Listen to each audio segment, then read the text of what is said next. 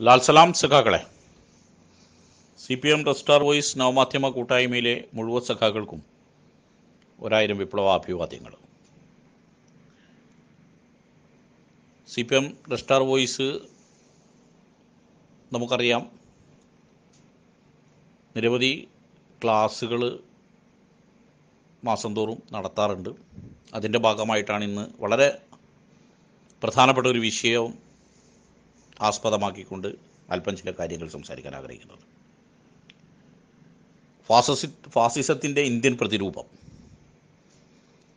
ആ വിഷയം പറയുമ്പോൾ തന്നെ നമ്മുടെ മനസ്സുകളിൽ വളരെ കൃത്യമായിട്ട് ഒരു സംഘടനയുടെ രൂപം തെളിഞ്ഞു വരും. പേര് മനസ്സിൽ കൊത്തിവെച്ചതുപോലെ. ആയിരത്തി തൊള്ളായിരത്തി ഇരുപത് ഇരുപത്തി അഞ്ചിൽ ഹെഡ്കേവാർ രൂപം കൊടുത്ത ആർ എസ് എസ് എന്ന ഇന്ത്യയിലെ ഒരു ഭീകര സംഘടനയുടെ പേര് നമ്മുടെ മനസ്സുകളിൽ വളരെ കൃത്യമായിട്ട് തന്നെ മുന്നോട്ട് വരും.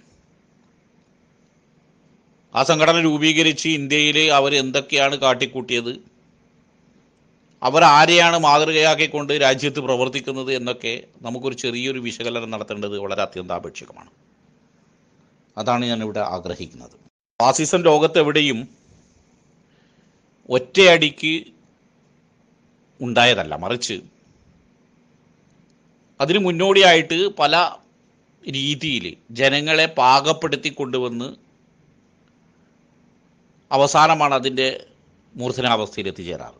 അതായത് ഒരു ഉദാഹരണം പറയുകയാണെങ്കിൽ ഒരു തവള ഒരു തവളയെ പിടിച്ച് നമ്മൾ ഒരു തിളക്കുന്ന വെള്ളത്തിലേക്ക് ഇട്ട് കഴിഞ്ഞാൽ ഒരു തിളക്കുന്ന വെള്ളത്തിൽ പാത്രത്തിലേക്ക് ഇട്ട് കഴിഞ്ഞാൽ തീർച്ചയായിട്ടും ആ തവള വെപ്രാളത്തോടു കൂടി ചാടി പുറത്തേക്ക് ചാടുന്ന ഒരവസ്ഥ ഉണ്ടാകും. എന്നാൽ അതേ ഒരു തവളയെ പിടിച്ച് ഒരു പാത്രത്തിൽ തണുത്ത വെള്ളം വെച്ച് അതിലേക്ക് ആ തവളയിട്ട് കഴിഞ്ഞാൽ അത് സുഖമായി അവിടെ ഇരിക്കും. പിന്നീട് ആ പാത്രത്തിന് നമ്മൾ അടുപ്പിൽ തീ കൊടുത്തു കഴിഞ്ഞാൽ അതിന്റെ മുകളിൽ വെച്ച് കഴിഞ്ഞാൽ ആ വെള്ളം മെല്ലെ മെല്ലെ മാത്രമേ അത് ചൂടാവുകയുള്ളൂ. ആദ്യ സമയങ്ങളിലൊന്നും തവള പ്രതികരിക്കാതെ അവിടെ തന്നെ ചടഞ്ഞ് ചടഞ്ഞ് കൂടും. ചെറിയ ചൂട് വരുമ്പോഴും ആ ചൂട് സഹിക്കാനുള്ള ഒരു മാനസികാവസ്ഥയിലായിരിക്കും തവള വരിക.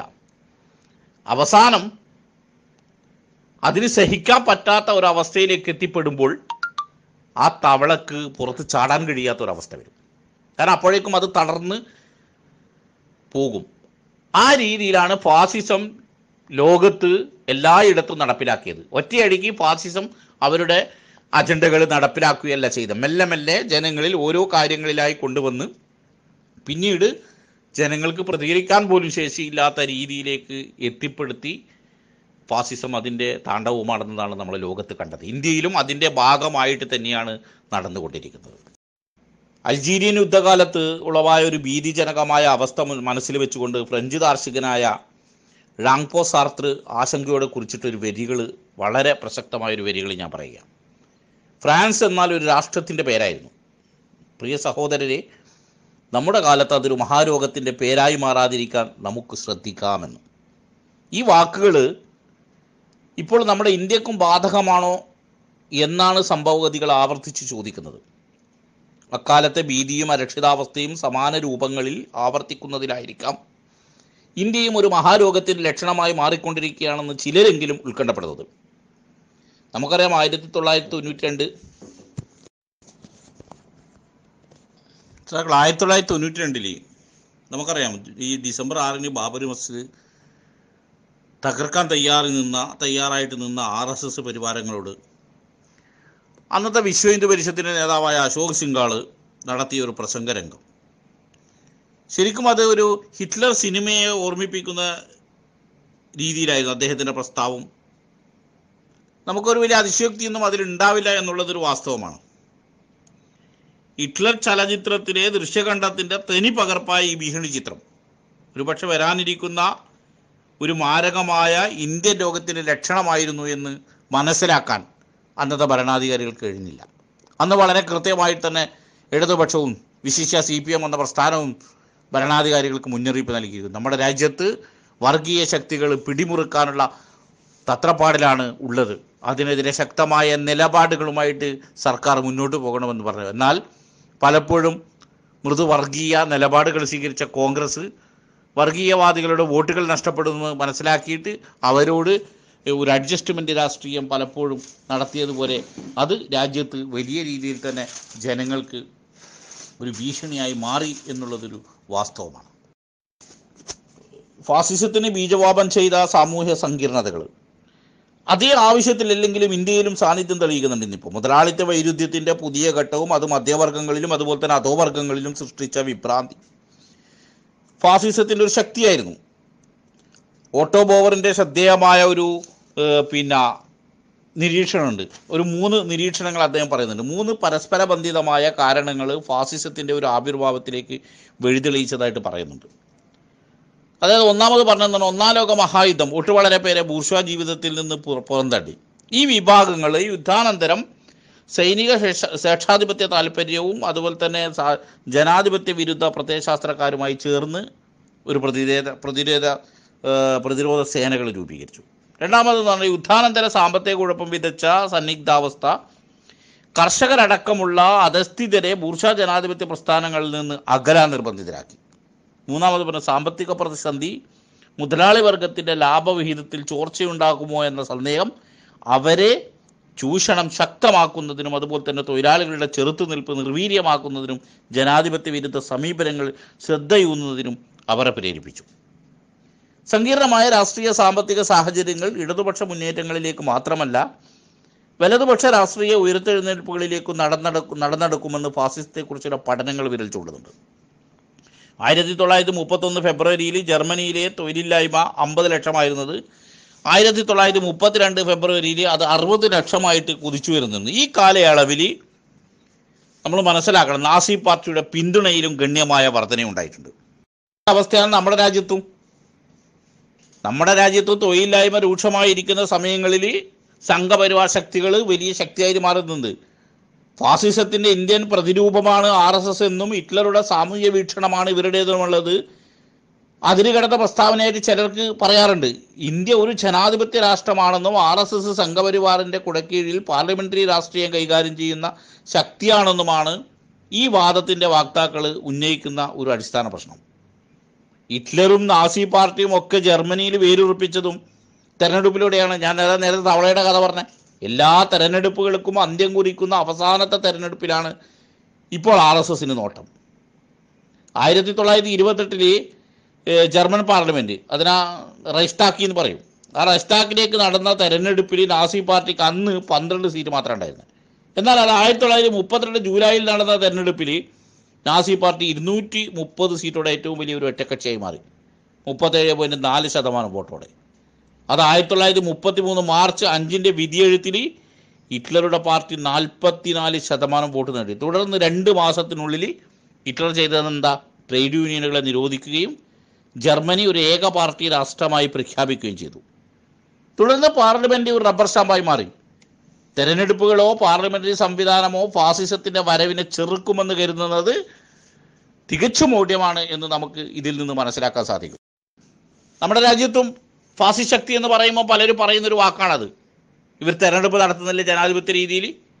ഇതേ രീതി തന്നെയായിരുന്നു ഹിറ്റ്ലറും ജർമ്മനിയിൽ ആദ്യകാലങ്ങളിൽ തുടർന്നത്. ഇപ്പം ഇവരുടെ തന്നെ എഡ്വേ വിചാരധാരയിലൊക്കെ പറഞ്ഞതുപോലെ ഒരു നേതാവ് ഒരു രാഷ്ട്രം ഒരു മതം എന്ന രീതിയിലേക്ക് കൊണ്ടുപോകുന്നത് എവിടത്തേക്കാണ്? അത് രാജ്യത്ത് അവർ എല്ലാ കാലങ്ങളിലും ആദ്യകാലങ്ങളിൽ ഞാൻ അതാ തവളയുടെ എക്സാമ്പിൾ പറഞ്ഞ പോലെയാണ്. നാസിസം കുത്തകകളുടെ സാമ്പത്തിക താല്പര്യത്തിന് ഏറ്റവും ഫലപ്രദമായ ഒരു കവചങ്ങളിൽ ഒന്നാണെന്ന് ജർമ്മൻ അനുഭവം നമുക്ക് തെളിയിക്കുന്നുണ്ട്. ആയിരത്തി തൊള്ളായിരത്തി ഇരുപതുകളുടെ ആദ്യ പാദത്തിൽ അനിശ്ചിതത്തിലായ ജർമ്മൻ മുതലാളിത്ത ഭരണകൂടത്തിന്റെ പ്രതിസന്ധി പരിശോധിച്ചാൽ ഇക്കാര്യം വളരെ വ്യക്തമാവും. കുത്തകകളും സൈനിക തലവന്മാരും തങ്ങളുടെ രക്ഷകരായി ഫാസിസ്റ്റ് നേതൃത്വത്തെ പ്രതീക്ഷിച്ചു. ജനലക്ഷങ്ങളെ കൊല ചെയ്യുന്നതിന് ലാഭത്തിന്റെ നിരക്കുമായി തുലനം ചെയ്ത് അംഗീകാരം ലഭിച്ചുവെന്നാണ് ഏണസ്റ്റ് ഹെൻറി തന്നെ എഴുതിയത്. നമ്മുടെ രാജ്യത്തും അത് തന്നെയാണ് വരുന്നത്. ഇപ്പം മുതലാളിമാർ കോൺഗ്രസിന്റെ വാലായി നടന്നിരുന്ന കുത്തകകളൊക്കെ ഇന്ന് ഈ ഫാസിസ്റ്റ് ഫാസിസ്റ്റ് ശക്തികളുടെ വാലായിട്ട് നടക്കുന്നത് നമ്മൾ കാണാൻ സാധിക്കും. സമാഹരിക്കപ്പെട്ട അക്രമാസക്ത മൂലധനത്തിന് മാത്രമേ ഫാസിസ്റ്റ് രീതികൾക്ക് തുടക്കം തുടക്കമിടാനാകൂ എന്ന് കണ്ട തിസൻസ് അതുപോലെ തന്നെ കിർദോ ഏർ, കെപ്ലർസ് തുടങ്ങിയ വ്യാവസായിക ഭീമന്മാർ രംഗത്തെത്തി ആ കാലത്ത്. പത്തൊമ്പതാം നൂറ്റാണ്ടിന്റെ പത്തൊമ്പതാം നൂറ്റാണ്ടിന്റെ അവസാനത്തിൽ തന്നെ അവസാനത്തിൽ തന്നെ ജർമ്മൻ കുത്തകകൾ യൂറോപ്പ് മുഴുവനും കീഴടക്കാനുള്ള പദ്ധതികൾ ഇട്ടു. അതുപോലെ തന്നെ ഇവിടെയും നടക്കുന്നത്. ഇവിടെ ഇപ്പം മോദിയുടെ ആളുകളായിട്ട് ആര് മാറി? അദാനിയും അംബാനിയും പോലുള്ള കുത്തകകൾ മാറിയതാകാണ്. അവർ മുൻകാലങ്ങളിൽ കോൺഗ്രസ് അനുകൂല നിലപാടുകൾ സ്വീകരിച്ചവർ ഇപ്പം അവർ കുത്തക മുതലാളിമാർ ആ കുത്തക മുതലാളിമാരൊക്കെ ഈ ബി ജെ പിയുടെ ആളുകളായിട്ട് മാറിയില്ലേ? അവർക്ക് താല്പര്യം എന്താണ്?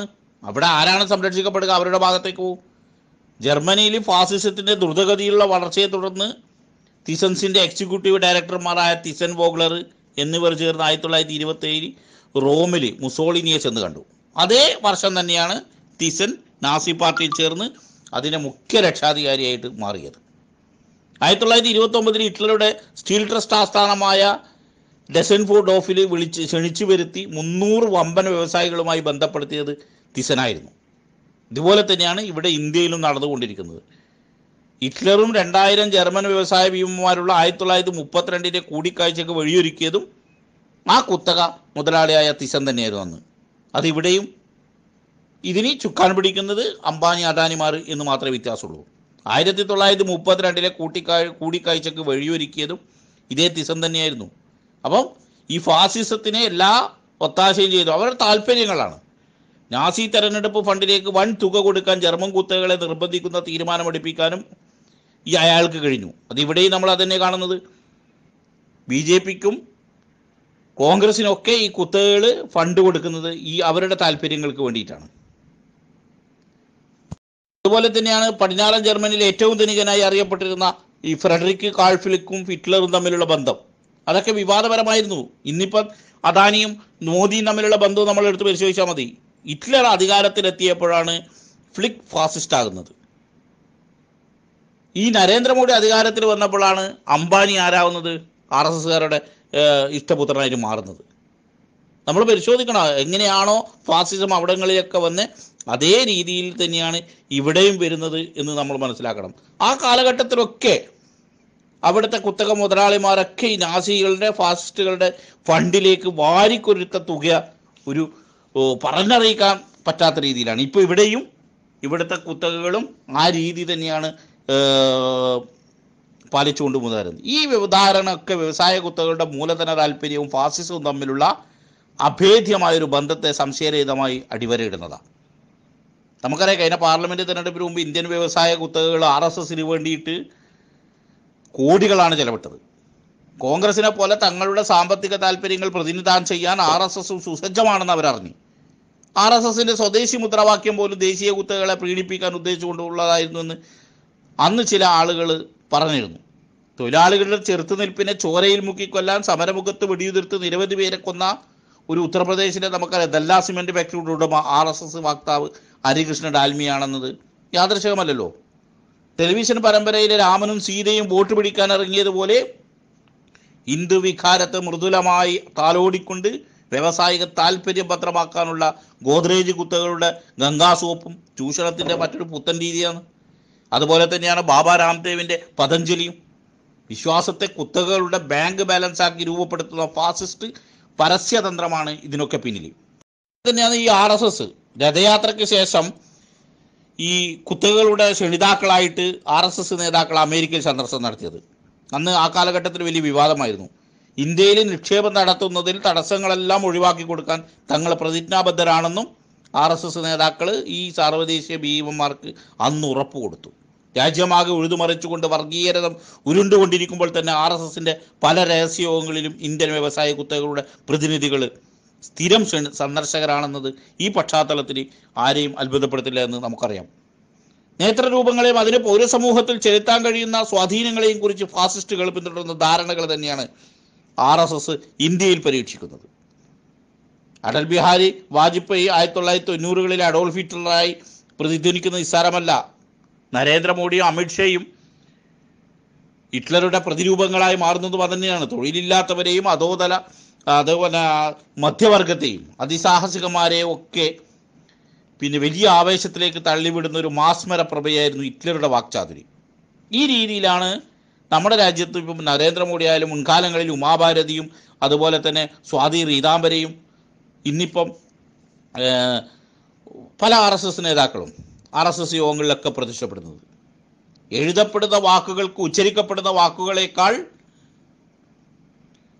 പരിമിതമായ നിലയിലെ ജനങ്ങളെ വശീകരിക്കാനാവും. ലോകത്തിലെ എല്ലാ മഹത്തായ പ്രസ്ഥാനങ്ങളും വളർന്നു വന്നത് നമുക്കറിയാം പ്രഗത്ഭരായ പ്രസംഗകരെ ആശ്രയിച്ചാണ്. മറിച്ച് എഴുത്തുകാരെ കൊണ്ടല്ലെന്ന പിന്നെ മൈൻ കാഫിലെ ഹിറ്റ്ലറുടെ തിരിച്ചറിവ്. എല്ലാ ഫാസിസ്റ്റുകളുടെയും മാസ് അപ്പീലിങ്ങിനുള്ള ഒരു പ്രാഥമിക പാഠമായിട്ട് നമുക്ക് കാണാൻ സാധിക്കും. അങ്ങനെ തന്നെയാണ് നമ്മുടെ പ്രധാനമന്ത്രി അടക്കം വാക്കുകൾ കൊണ്ടാണ് നമ്മൾ പലപ്പോഴും ദൃശ്യമാധ്യമങ്ങളിലൊക്കെ കണ്ടല്ലേ? നമുക്ക് കള്ളപ്പണം തിരിച്ചു കൊണ്ടുവരണ്ടേ? നിങ്ങൾക്ക് പതിനഞ്ച് ലക്ഷം നിങ്ങളുടെ ബാങ്കിലേക്ക് വരണ്ടേ? അതിന് ബി ജെ പി വരണമെന്ന് അവർ പറഞ്ഞു.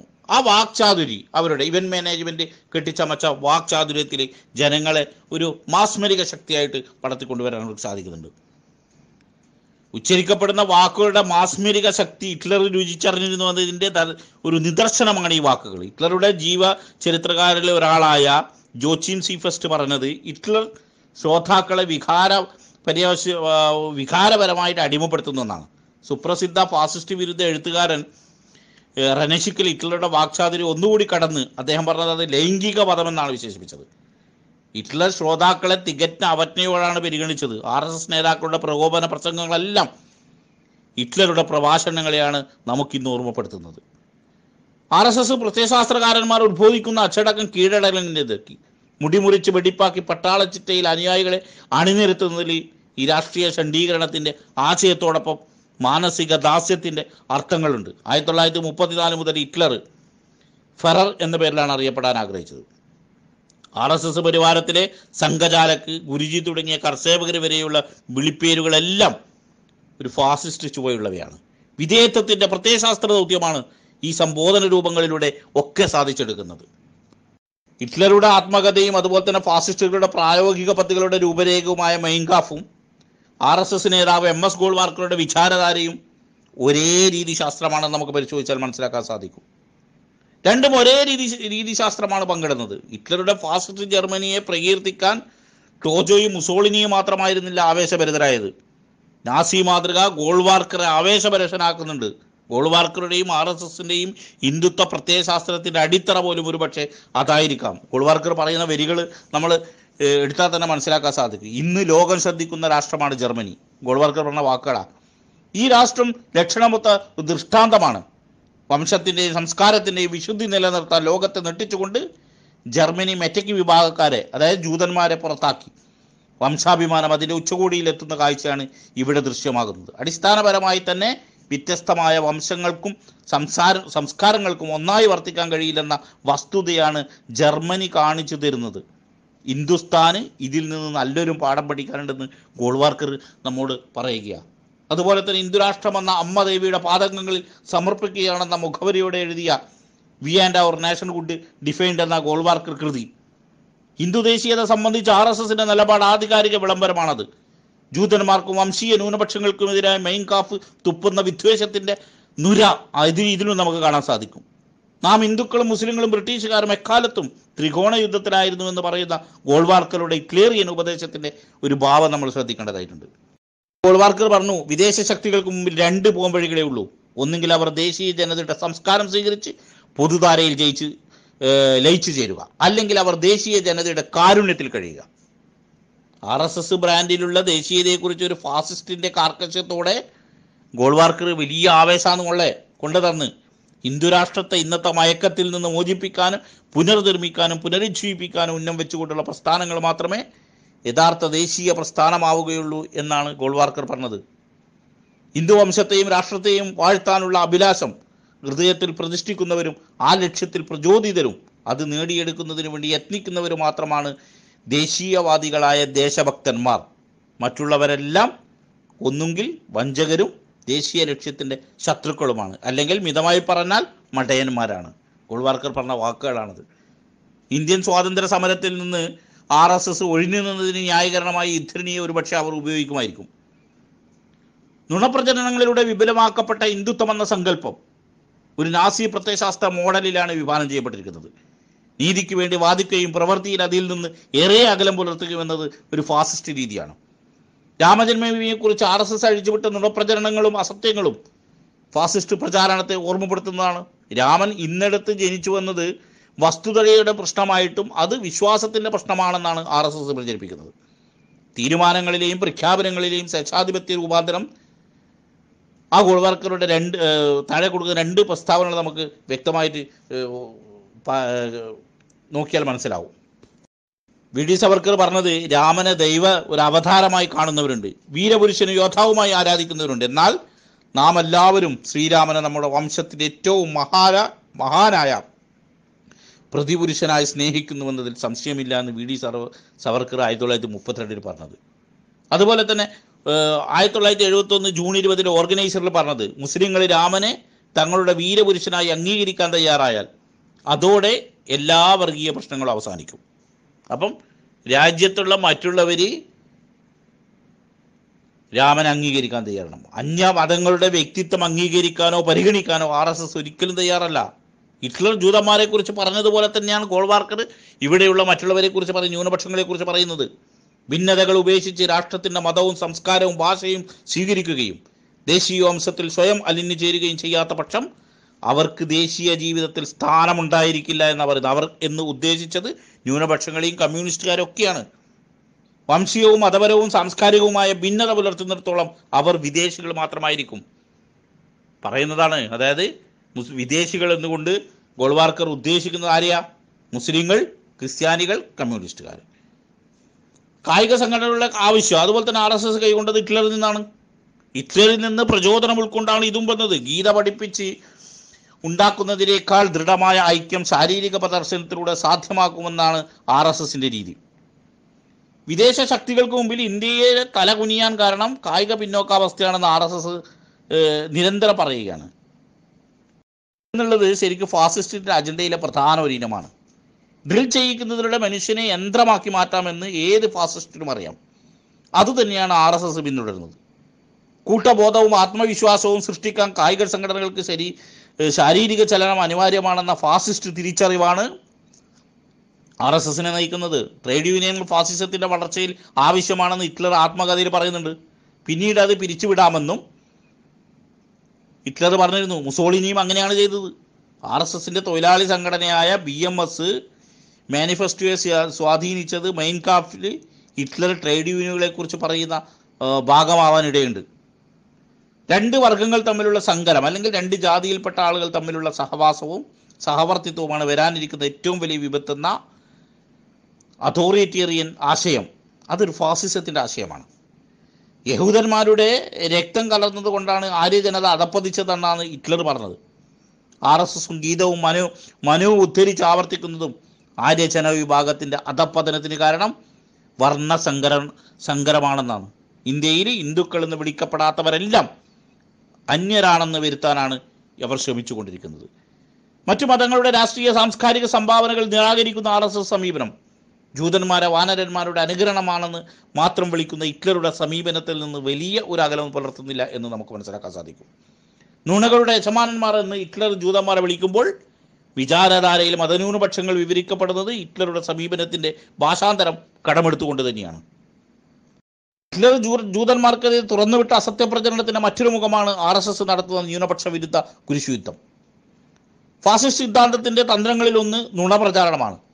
ഹിറ്റ്ലർക്ക് നുണപ്രചാരണത്തിന് ജോസഫ് ഗീബൽസിന്റെ നേതൃത്വത്തിൽ ഒരു പ്രചാരണ വിഭാഗം തന്നെ ഉണ്ടായിരുന്നു. ആർ എസ് എസും വിവിധ അനുബന്ധ സംഘടനകളിലൂടെയാണ് ഈ കൃത്യം നിർവഹിച്ചുകൊണ്ടിരിക്കുന്നത്. ആർ എസ് എസ് രാജ്യത്ത് അങ്ങനെയാണ് ഈ സംഘടനകളെ സൃഷ്ടിച്ചത്. ഏകദേശം ഇരുന്നൂറോളം സംഘടനകൾ സൃഷ്ടിച്ചത് നുണകൾ പ്രചരിപ്പിക്കുന്നതിന് വേണ്ടിയാണ്. ഓരോ പ്രദേശങ്ങളിൽ ഓരോ പേരിൽ സംഘടനകൾ രൂപീകരിച്ചുകൊണ്ട്. നമ്മളതിപ്പം ഈ നവമാധ്യമങ്ങളിലൂടെയൊക്കെ നമ്മൾ കൈ സൈബർ കാലത്ത് നമ്മൾ കാണുന്നതാണ്. നുണങ്ങൾ മാത്രം പ്രചരിപ്പിക്കുക എന്നുള്ളത്. ഇപ്പം അടുത്ത കാലത്തായിട്ട് ഇപ്പം ഇപ്പം രണ്ട് മൂന്ന് ദിവസം മുമ്പ് തന്നെ നമുക്കറിയാം. ആരാധനാലയങ്ങൾക്ക് ഈ ബലിപെരുന്നാളുമായിട്ട് ബന്ധപ്പെട്ട ഒരു വിഷയത്തിൽ ആർ എസ് എസ് നമ്മുടെ രാജ്യത്ത് നടത്തിക്കൊണ്ടിരിക്കുന്ന വർഗീയ പ്രചരണം നമ്മുടെ സംസ്ഥാനത്ത്. ഏതെങ്കിലും ഒരു മതത്തിന് മാത്രമാണോ അവകാശങ്ങൾ നൽകിയത്. എല്ലാവർക്കും ഒരേ അവകാശങ്ങളാണ് പറയുന്നത്. നൂറ് മീറ്ററിൽ പതിനഞ്ച് പേരെന്ന രീതിയിൽ മാത്രം നൂറ് പേരെ ആവാം എന്നാണ്. അത് മുസ്ലിം പള്ളികളിൽ മാത്രമല്ല ഹിന്ദു ദേവാലയങ്ങളിൽ പറ്റും. പക്ഷെ ആർ എസ് എസ് നടത്തുന്ന ഇത്ര പ്രചരണം ഹിറ്റ്ലർ ജൂതന്മാർക്ക് നേരെ തുറന്നുവിട്ട അതേ അസത്യ പ്രചരണത്തിന്റെ മറ്റൊരു മുഖമാണ് എന്ന് നമുക്ക് കാണാൻ സാധിക്കും. നുണകൾ പറയുമ്പോൾ നാണം കെട്ട നിലയിൽ പറയുക ചെറിയ നുണകളേക്കാൾ ജനങ്ങൾ എളുപ്പം വിശ്വസിക്കുക വമ്പൻ നുണകളാണ്. എന്ന ഹിറ്റ്ലറുടെ ഒരു സാരോപദേശം ആർ എസ് എസ് നേതാക്കളെ വലിയ രീതിയിൽ ആവേശം കൊള്ളിക്കുന്നത് നമുക്ക് കാണാൻ സാധിക്കും. ഇപ്പോൾ ഈ ബി ജെ പി നേതാവ് ഗോപാലകൃഷ്ണനെ പോലെയുള്ള ആളുകൾ വന്നിട്ട് പറയുന്ന ചില നുണകൾ ദൃശ്യമാധ്യമങ്ങൾ ഒരു മടിയുമില്ലാതല്ലേ പറയുന്നത്? എന്താ എന്ന് പറഞ്ഞത്? ഒരു അമ്പലം നശിച്ചാൽ അത്രയും അന്ധവിശ്വാസം ഇല്ലാതായി ആരാ പറഞ്ഞ ഇ എം എസ് പറഞ്ഞു. നമ്മൾ കേട്ടതാ. ഇ എം എസ് ആ പറഞ്ഞതെന്ന്. അതല്ല ഇ എം എസ് അല്ല സി കേശവനാണെന്ന് വളരെ കൃത്യമായിട്ട് രേഖകളുടെ അടിസ്ഥാനത്തിൽ ചോദിച്ചപ്പോൾ അവിടെ മാറി. പിന്നീട് മറ്റൊരു ആരോപണവുമായിട്ട് വന്നു. അരുവിപ്പുറം പ്രതിഷ്ഠക്ക് ഇ എം എസ് പങ്കെടുത്തില്ല എന്തുകൊണ്ട്? ഇ എം എസിന്റെ ജാതി ചിന്തയാണത്. ഇ എം എസ് ജനിക്കുന്നതിനും ഏകദേശം ഇരുപത് വർഷങ്ങൾക്ക് മുമ്പ് നടന്ന ഇരുപത് മുപ്പതോളം വർഷം മുപ്പത് വർഷങ്ങൾക്ക് മുമ്പ് നടന്ന അരുവിപ്പുറം പ്രതിഷ്ഠയിൽ ഇ എം എസ് പങ്കെടുത്തില്ല എന്തുകൊണ്ട് എന്ന് ചോദിക്കുന്ന ആ നുണകൾ ഇപ്പൊ അടുത്ത കാലത്ത് തന്നെ നമ്മൾ കണ്ടു. ഇപ്പൊ ഈ സ്വർണക്കടത്തുമായിട്ട് ബന്ധപ്പെട്ട ഒരു കാര്യത്തിൽ തന്നെ ഡിവൈഎഫ്ഇയുടെ ട്രഷറായ ഒരാൾ അവിടെ ഇരിക്കുമ്പം പറയുന്നു ട്രഷറിന്റെ ഭാര്യയുടെ കുഞ്ഞമ്മന്റെ മകനാണ്.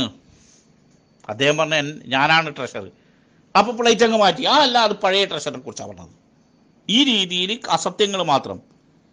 ആർ എസ് എസ് ന്യൂനപക്ഷ ജനവിഭാഗങ്ങൾക്കെതിരെ പ്രചരിപ്പിക്കുന്ന വിഷം വമിക്കുന്ന നുണകൾക്ക് അടിസ്ഥാനം ഭൂരിപക്ഷത്തിന്റെ ആഗ്രഹാഭിലാഷങ്ങൾക്ക് ന്യൂനപക്ഷം കീഴ്പ്പെട്ട് കൊള്ളണമെന്ന ഒരു ഭീഷണിയാണ്. ഉയർന്ന ഉദ്യോഗങ്ങളിലെല്ലാം മുസ്ലിം തള്ളിക്കയറ്റമാണെന്നാണ് ആർ എസ് എസ് പ്രചാരണം നടത്തുന്നത്. എന്നാൽ ക്ലാസ് ഒന്ന് ഓഫീസർമാരിൽ മുസ്ലിങ്ങളുടെ അനുപാതം നമ്മൾ എടുത്ത് പരിശോധിച്ചാൽ ഒന്നേ പോയിന്റ് ആറ് ശതമാനം മാത്രമാണ്. മറ്റൊരു പ്രചരണം എന്താ? മുസ്ലിങ്ങൾ കുടുംബാസൂത്രണ പരിപാടിയുമായി സഹകരിക്കാതെ അനിയന്ത്രിതമായി സന്തോഷ സന്താനോൽപാദനത്തിൽ തുനിയുന്നു എന്നാണ്. അതുപോലെ തന്നെ മുസ്ലിങ്ങളിൽ ബഹുഭാര്യത്വം അപകടകരമായി വളർന്നുണ്ടെന്നും അവർ പറയുന്നു. യഥാർത്ഥത്തിൽ ഔദ്യോഗിക പഠനങ്ങൾ കാണിക്കുന്നത് ബഹുഭാര്യത്വം മുസ്ലിങ്ങൾക്കിടയിൽ ഹിന്ദുക്കളേക്കാൾ കുറവാണെന്നാണ്. മുസ്ലിങ്ങൾക്കിടയിലെ പിന്നോക്കാവസ്ഥക്ക് കാരണം സാമ്പത്തികമാണെന്ന വസ്തുത മറച്ചുപിടിച്ച് മതപരമായ പ്രത്യേകതയാണ് അതിന് നിധാനമെന്ന് ആർ എസ് എസ് പ്രചരിപ്പിക്കുന്നു. മുസ്ലിം ജനസംഖ്യ വർദ്ധിപ്പിക്കാൻ അവർ ബോധപൂർവം ശ്രമിക്കുന്നതായും ഇതൊരു ആഗോള ഗൂഢാലോചനയുടെ ഭാഗമായിട്ടും ആർ എസ് എസ് ജികളൊക്കെ ആവർത്തിക്കുക. മുസ്ലിങ്ങൾക്കിടയിൽ കുടുംബാസൂത്രണ ബോധത്തിന്റെ കുറവിന് കാരണം മതപരമല്ലെന്നും അത് ദാരിദ്ര്യവും നിരക്ഷരതയും മൂലമാണെന്ന് വിവിധ പഠനങ്ങൾ നമുക്ക് വളരെ കൃത്യമായിട്ട് വരച്ചു കാണിക്കുന്നുണ്ട്. ഈ കലാപങ്ങളിൽ ഏറ്റവും അധികം നാശനഷ്ടങ്ങൾ സഹിക്കേണ്ടി വരുന്നത് ന്യൂനപക്ഷ ജനവിഭാഗങ്ങൾക്കാണെന്ന് നമുക്കറിയാവുന്ന ഒരു വസ്തുതയാണ് ഹിന്ദു വർഗീയ അനുകൂല അന്വേഷണ റിപ്പോർട്ടുകൾക്ക് പോലും മറച്ചു വെക്കാനാവാത്ത ഒരു സത്യമാണത്. ഹിന്ദു വർഗീയ ആക്രമണത്തിന് മറയിടാൻ ആർ എസ് എസ് ജമ്മു കാശ്മീരിൽ മുസ്ലിങ്ങൾ നൂറുകണക്കിന് ക്ഷേത്രങ്ങൾ തകർത്തതായി പറയാറുണ്ട്. ആർ എസ് എസ് തന്നെ നിയോഗിച്ച B G Varghese commission report സമർപ്പിച്ച റിപ്പോർട്ട് എത്തിച്ചേർന്ന നിഗമനം ഈ പ്രചരണം ശുദ്ധ നുണയെന്നായിരുന്നു എന്നാൽ ആയിരത്തി തൊള്ളായിരത്തി എൺപത്തി ആറിന്റെ ആദ്യ നാളുകളിലുണ്ടായ വർഗീയ അസ്വസ്ഥ്യം ആനന്ദബാഗ് ജില്ലയിലെ ചില ക്ഷേത്രങ്ങൾക്ക് പോറലേൽപ്പിച്ചതായി റിപ്പോർട്ട് പറയുന്നുണ്ടെന്ന്. അത് നിസ്സാര കാര്യങ്ങൾ ഊതി വീർപ്പിച്ച് മുതലെടുക്കാനാണ് ആർ എസ് എസ് എല്ലാ കാലങ്ങളിലും ശ്രമിച്ചുകൊണ്ടിരിക്കുന്നത്. ജമ്മു കാശ്മീരിന് പ്രത്യേക പദവി നൽകിയ ഭരണഘടനയുടെ മുന്നൂറ്റി എഴു എഴുപതാം വകുപ്പ്. നമുക്കറിയാം ആർ എസ് എസിന് മറ്റൊരു ആക്രമണ ലക്ഷ്യമായിരുന്നു. അത് അവർ നടപ്പിലാക്കി കൃത്യമായിട്ട് ആയിരത്തി തൊള്ളായിരത്തി അമ്പത്തി മൂന്ന് അമ്പത്തി നാ- മൂന്ന് കാലത്താണ് അമ്പത്തൊന്ന് അമ്പത്തി മൂന്ന് കാലത്താണ് ഏറ്റവും അക്രസക്തമായി ഈ പ്രചരണം അവരേറ്റെടുത്തത് കോൺസ്റ്റിറ്റ്യൂവിന്റെ അസംബ്ലിയിൽ ഈ വകുപ്പിന് അനുകൂലമായി വോട്ട് ചെയ്ത ശ്യാമപ്രസാദ് മുഖർജി തന്നെയാണ് കാശ്മീരിന് പ്രത്യേക പരിഗണന നൽകുന്നുവെന്ന പ്രചാരണ പ്രചരണത്തിന് ഇറങ്ങിയതെന്ന് നമ്മൾ ഇവിടെ ശ്രദ്ധിക്കേണ്ടതുണ്ട് ഭരണഘടനയുടെ മുന്നൂറ്റി എഴുപത്തൊന്ന് മുന്നൂറ്റി എഴുപത്തൊന്ന് എ മുന്നൂറ്റി എഴുപത്തിരണ്ട് ബി എന്നീ വകുപ്പുകൾ കൂടി പരിശോധിക്കേണ്ടത് ഈ പശ്ചാത്തലത്തിൽ ആവശ്യമാകുന്നുണ്ട്. മഹാരാഷ്ട്ര ഗുജറാത്ത് നാഗാലാൻഡ് അസം മണിപ്പൂർ ആന്ധ്രാപ്രദേശ് സിക്കിം മിസോറാം അരുണാചൽ പ്രദേശ് എന്നിവയ്ക്കൊക്കെ ബാധകമായതാണ് ഈ വകുപ്പുകൾ.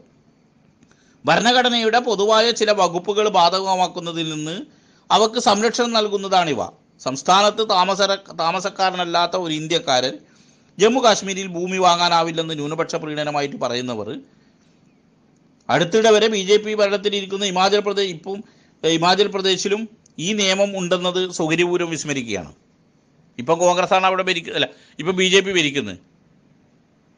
ഈ ബി ജെ പി ഭരിക്കുന്ന ഹിമാചൽ പ്രദേശിൽ ഇപ്പോഴും ആ നിയമം ഉണ്ടെന്നുള്ളത് സൗകര്യപൂർവം അവർ മറക്കുകയാണ്. ഫാസിസം അക്രമാസക്തമായ അടിച്ചമർ അടച്ചമർത്തലത്തിന്റെതായ അല്ലെങ്കിൽ അധസ്ഥിത വിരുദ്ധമായ സവർണ സമ്പന്നാനുകൂലമായ ഒരു പുരുഷ മേധാവിത്വപരമായ ഒരു പ്രത്യയശാസ്ത്രമാണ്. പുരുഷ മേധാവിത്വ സമൂഹത്തിലാണ് ഹിറ്റ്ലർ മുസോണിയും ഊന്നിയത്.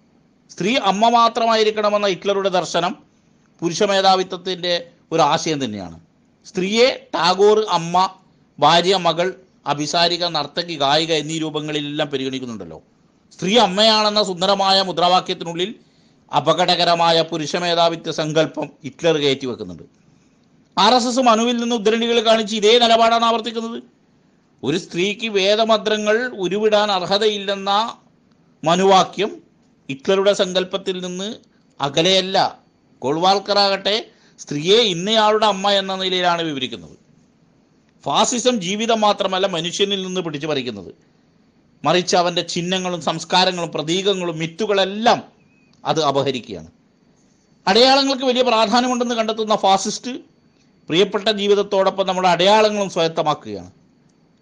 സ്വാസ്തികക്ക് ചെങ്കടിയേക്കാൾ പ്രാധാന്യമുണ്ടെന്ന് ബോധ്യപ്പെടുത്താൻ ഹിറ്റ്ലർക്ക് കഴിഞ്ഞു.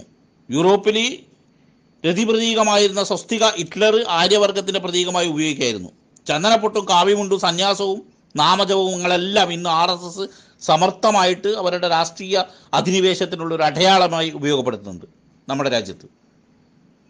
ഭരണകൂടത്തിന്റെ സംരക്ഷണത്തിൽ ഹിന്ദു പ്രതീകങ്ങളുടെ വാചാലമായ വിപുലീകരണമാണ് ആർ എസ് എസ് ലക്ഷ്യമിട്ടിരിക്കുന്നത്. ഗംഗാ കലശയാത്രയും അതുപോലെ തന്നെ രാമശിലാ പൂജയും രാമപാതുക പൂജ ഇവയൊക്കെ ഈ തരത്തിലാണ് നിരീക്ഷിക്കേണ്ടത് നമ്മൾ. ഗാന്ധിജി ഉപയോഗിച്ച ഉപ്പ് എന്ന പ്രതീകത്തെക്കാൾ ശക്തമായിരുന്നു ആർ എസ് എസിന്റെ രാമശിലാ പ്രതീകം പണ്ട് പിന്നെ എം എം വിജയന് ഒരിടത്ത് പറഞ്ഞതുപോലെ ഒരു കുറിയെ കുറിക്കുകൊള്ളുന്ന അടയാളമാക്കി മാറ്റാവുന്ന തന്ത്രങ്ങളാണ് നമുക്ക് ചുറ്റും. ചരിത്രത്തെ വളച്ചൊടിക്കലും ദുർവ്യാഖ്യാനം ചെയ്യും പോലെ മിത്തുകളെ സ്വന്തമാക്കലും ഫാസിസ്റ്റ് രീതിയാണ്. ഹിറ്റ്ലർ അറ്റ്ലസുകളും ചരിത്ര പുസ്തകങ്ങളും ക്ലാസിക്കുകളും ചുട്ടിരിച്ചുവെങ്കിൽ ആർ എസ് എസ് ചരിത്രം തിരുത്തി എഴുതാനാണ് ശ്രമിക്കുന്നത് ഇപ്പോൾ. നാഗ്പൂർ കേന്ദ്രമായി ഇതിന് വിപുലമായ പദ്ധതികൾ തന്നെ ആവിഷ്കരിക്കപ്പെട്ടിട്ടുണ്ട്.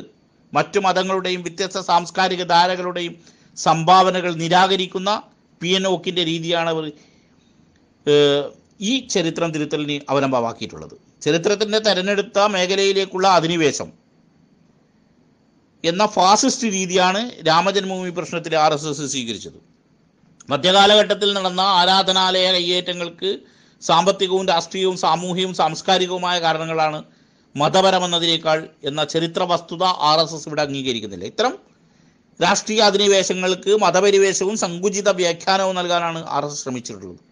പതിനൊന്നാം നൂറ്റാണ്ടിലെ കാശ്മീർ രാജാവായ ഹർഷദേവൻ ഹിന്ദു വിശ്വാസിയായിരുന്നിട്ടും ക്ഷേത്രം കൊള്ള ചെയ്യാൻ പ്രത്യേകം മന്ത്രി അധികാരപ്പെടുത്തിയതും ഹിന്ദു രാജാക്കന്മാർ തകർത്ത ക്ഷേത്രങ്ങൾ ടിപ്പു സുൽത്താൻ പുതുക്കി പണിതതും മറ്റും ആർ എസ് എസിന്റെ സങ്കുചിത മതവ്യാഖ്യാനത്തിന് ഒരിക്കലും വിശദീകരിക്കാനാവില്ല. അവർ അത് അംഗീകരിക്കാനും തയ്യാറല്ല. മധ്യകാല ദശകങ്ങളിൽ ലാറ്റിൻ അമേരിക്കയിൽ നടന്ന അധിനിവേശങ്ങൾ രാഷ്ട്രീയ അതിശത്വത്തിന് ആരാധനാലയങ്ങളെ കീഴ്പ്പെടുത്തിയതിന്റെ ചരിത്രം ആർ എസ് എസ് ഒരിക്കലും ശ്രദ്ധിക്കില്ല ആർ എസ് എസിന്റെ വാദമുഖങ്ങൾക്ക് ദൈക്ഷണിക പരിവേഷണം പകർത്താൻ ശ്രമിച്ച സവർക്കർ ഗോൾവാർക്കർമാരെല്ലാം മുന്നോട്ട് വെച്ചത് ഒരു മതാധിഷ്ഠിതമായ രാഷ്ട്രസങ്കല്പമാണ്. അതാകട്ടെ സ്വച്ഛാധിപത്യ ഫാസിസ്റ്റ് രുചിയുള്ളതാണ്.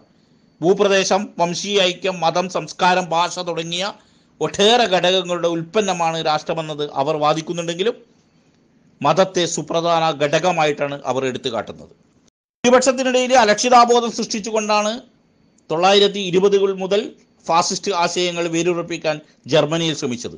തങ്ങളുടെ വീടുകളിൽ തന്നെ അവർ അന്യരാക്കപ്പെട്ട് അന്യരാക്കപ്പെടുന്നുവെന്നായിരുന്നു ഫാസിസ്റ്റുകളുടെ സങ്കുചിതവാദം.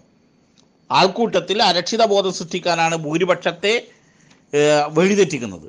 ആയിരത്തി തൊള്ളായിരത്തി തൊണ്ണൂറ്റി ഒന്നിലെ അദ്വാനിയുടെ നേതൃത്വത്തിൽ നടന്ന രഥയാത്രയ്ക്ക് ശേഷം നമുക്കറിയാം ന്യൂനപക്ഷ ജനവിഭാഗങ്ങൾക്ക് നേരെ നടന്ന കടന്നുകയറ്റം. ഹിറ്റ്ലർ ജൂതന്മാർക്കെതിരെ നടത്തിയ ആക്രമണ പരമ്പരയിൽ കുറഞ്ഞ ഒന്നുമല്ലെന്ന് പ്രഫുൽ ബിദ്വായി എന്ന ഒരു ചരിത്രകാരൻ നിരീക്ഷിക്കുന്നുണ്ട്.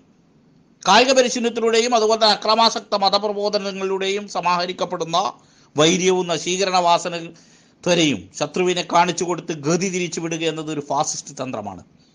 ന്യൂനപക്ഷ ജനവിഭാഗങ്ങൾക്ക് നേരെ ആർ എസ് എസ് അയച്ചുവിടുന്ന കുരിശു യുദ്ധം ഹിറ്റ്ലറിൽ നിന്ന് ആവേശം ഉൾക്കൊണ്ട് കൊണ്ടുള്ളതാണെന്ന് നമുക്ക് വളരെ കൃത്യമായിട്ട് മനസ്സിലാക്കാൻ സാധിക്കും. ഹിറ്റ്ലറുടെ ഏറ്റവും അടുത്ത അനുചരയിലുള്ള ഒരാളായ ഹെയിൻഡിച്ച് ഹിറ്റ്ലർ ശത്രുവിനെക്കുറിച്ചുള്ള വ്യക്തമായ സൂചന നൽകിയത് ഇങ്ങനെയാണ്. അധിനിവേശ പ്രദേശങ്ങളിലെ ജനങ്ങൾ കന്നുകാലികളെ പോലെ പട്ടിണി കിടക്കുകയോ മരിക്കുകയോ ചെയ്യുന്നുണ്ടെങ്കിൽ എനിക്കതിൽ താല്പര്യം നമ്മുടെ സംസ്കാരത്തിന് അടിമകളായി അവർ ആവശ്യമുണ്ടെന്ന് ഒറ്റ കാരണത്താലാണ്. നമ്മുടെ രക്തത്തിൽ ജനിച്ച ജനങ്ങളോട് മാത്രമേ നാം സത്യസന്ധവും സൗഹാർദ്ദപരവും മാന്യമായി പെരുമാറുള്ളൂ എന്നാണ് അവർ പറയുന്നത്. ഇതേ അവസ്ഥയല്ലേ രാജ്യത്ത് ആർ എസ് എസും പുലർത്തുന്നത്? അപ്പം ആർ എസ് എസ് എന്നുള്ളത് ഫാസിസ്റ്റിന്റെ ഇന്ത്യൻ പ്രതിരൂപമാണ്. നമ്മുടേത് അവരുടേതെന്ന കപട പ്രശ്നം ഉയർത്തി യഥാർത്ഥ ശത്രുവിനെ അദൃശ്യമാക്കി കൊടുക്കുന്ന ഈ ഫാസിസ്റ്റ് രീതിയാണ് ന്യൂനപക്ഷങ്ങളെ ശത്രു ശത്രുക്കളാക്കി പ്രഖ്യാപിക്കുന്നതിലൂടെ ആർ എസ് എസ് ഇന്ത്യയിൽ പിന്തുടരുന്നത്. ഭീകരരുടെ അക്രമി സംഘമായ സഫ്രോൺ ഷെഡ്സിന്റെ അതിക്രമങ്ങളെ ഓർമ്മിപ്പിക്കുന്ന ഭീകരതയാണ് ആർ എസ് എസും രാജ്യത്താകെ അഴിച്ചുവിടുന്നത്. ഭരണഘടന ഉറപ്പു നൽകുന്ന ന്യൂനപക്ഷ സംരക്ഷണവും പിന്നോക്ക വിഭാഗ സംരക്ഷണവും ആർ എസ് എസ് പരിഗണിക്കുന്നതേയില്ല എന്ന് വർത്തമാന കാലഘട്ടം നമ്മോട് പറയുന്നു. മണ്ഡൽ കമ്മീഷൻ ശുപാർശകളോട് അടക്കമുള്ള ആർ എസ് എസിന്റെ അസഹിഷ്ണുത നമുക്കറിയാവുന്ന ഒരു വസ്തുതയാണല്ലോ. ഇന്ത്യൻ ഭരണഘടനയിൽ വരുത്തേണ്ടുന്ന മാറ്റങ്ങളെക്കുറിച്ച് ആർ എസ് എസ് നേതാവ് പി പരമേശ്വരന്റെ വാദഗതികൾ ഒരു കാലത്ത് വിചിത്രമായ വാദഗതികൾ കൊണ്ടുവന്നിരുന്നു. സമ്പൂർണ സവർണ സമ്പന്നവൽകൃതമായ ഒരു ഭരണഘടനയാണ് പരമേശ്വരനൊക്കെ എന്ന ആർ എസ് എസിന്റെ പേരിൽ വിഭാവനം ചെയ്യുന്നത്.